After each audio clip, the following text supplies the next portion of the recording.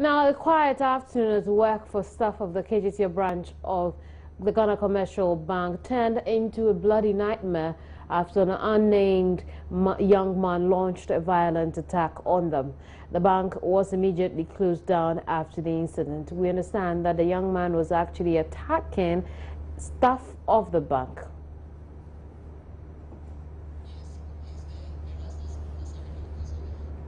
Well, now this happened yesterday. Let's get a quick update on the situation at the bank now. Erastus Asare Donkor has been following the incident. He's joined me over the telephone. Good morning, Erastus. Good morning. Uh, do, do, do we know whether or not bank operations uh, have resumed this morning? Yes, uh, it resumed uh, two hours after the incident. Uh, the bank had to be closed down for uh, them to be able to clean the blood that uh, had been smeared in the hall. And uh, this blood was coming from the suspect because he sustained uh, various wounds uh, while using his fist to crack uh, the doors, the glass doors over there. So the, the glass doors this morning, they have been replaced. banking activities have resumed. Place um, continuing. And additionally, uh, they have their security measures, so we have uh, more security detail in there. Hello, Erastus. Erastus.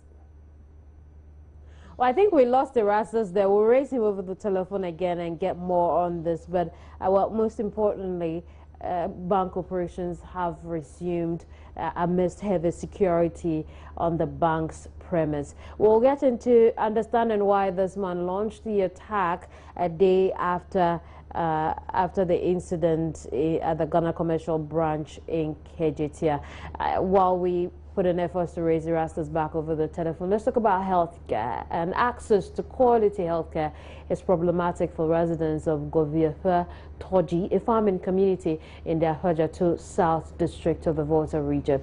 With a population of over 50,000 residents in Goviefe Toji have to travel long distances to access healthcare. The deplorable nature of the roads make it difficult for motorists to travel to and from the town. Here's a report by correspondent Fred Kwame Asari of Goviefe Toji either walk or carry patients on motorbikes from the community to a health center in the next community. Mankrado of Goviefe Toji, Togbigo Prekese, narrates the history of healthcare delivery in the town and laments how residents have difficulties in accessing healthcare, especially pregnant women and lactating mothers. We used to have a health center which was provided by World Vision. But due to low attendance then, the nurse was transferred.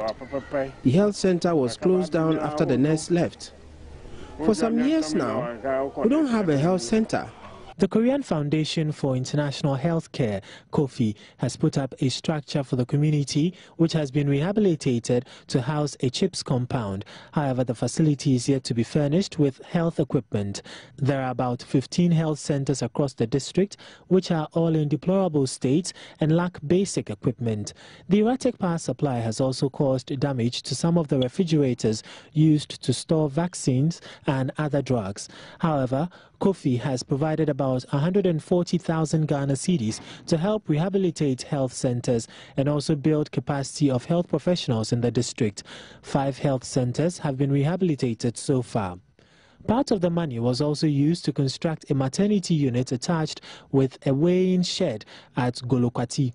The Afadjato South Director of Health Services, Dr. George Nako, acknowledged KOFI's intervention has been very helpful in improving access to health care and reducing maternal mortality in the district. Though the health sector in the district has staffing challenges, the DCE, Angela Alowute, noted that health accessibility in the district had improved from 30% to 50% and was expectant of an increase by close of 2015. She added that though inflow of internally generated fund is low, the Assembly would solicit funding elsewhere to help enhance healthcare delivery. The grant came with some facilities uh, like equipment, like the bed, delivery bed, normal beds, And so what we have decided to do is to provide the basics um, like um, the tables, the chairs, Uh, for the staff to, to use. Kofi also presented a tricycle ambulance and four motorcycles to the Afadjato Health Directorate. Fred Kwame Asari's report for Joy News.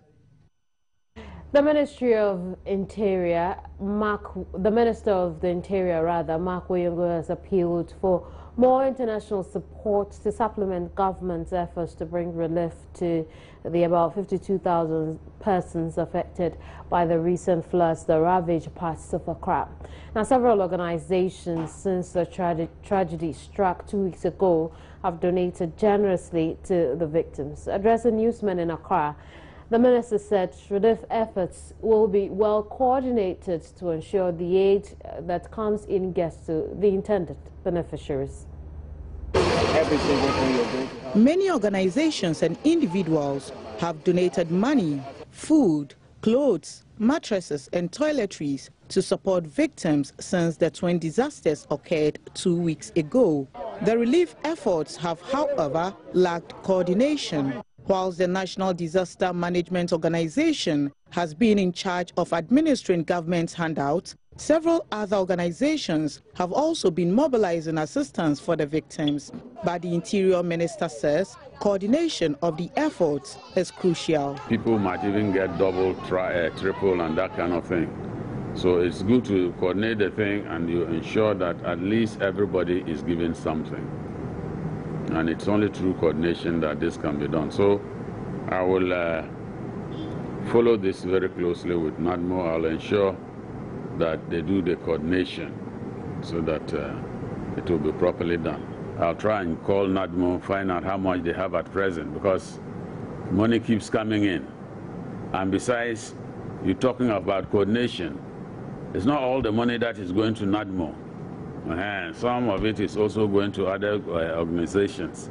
And that's why we said there is the need for us to coordinate so that at the end of the day, we'll get to know how much has been contributed to the relief effort. Meanwhile, the International Hospital Group Limited, contractors of the Police Hospital Redevelopment Project, has donated 100,000 cedis to Government Relief Fund. The money will help the committee to put, to put smiles on the faces of those victims. It will help address some of their problems.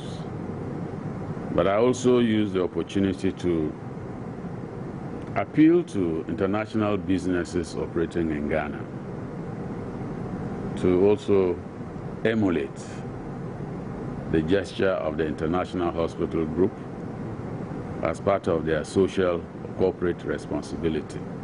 A five-member committee tasked to investigate the June 3 Goil filling station explosion has until the end of the month to present its findings. It is not clear how the explosion occurred, but the prevailing theory is that fuel carried off by the floodwaters from the underground fuel storage tanks at the filling station at the Kwame Nkrumah Circle was ignited by fire several hundred meters away.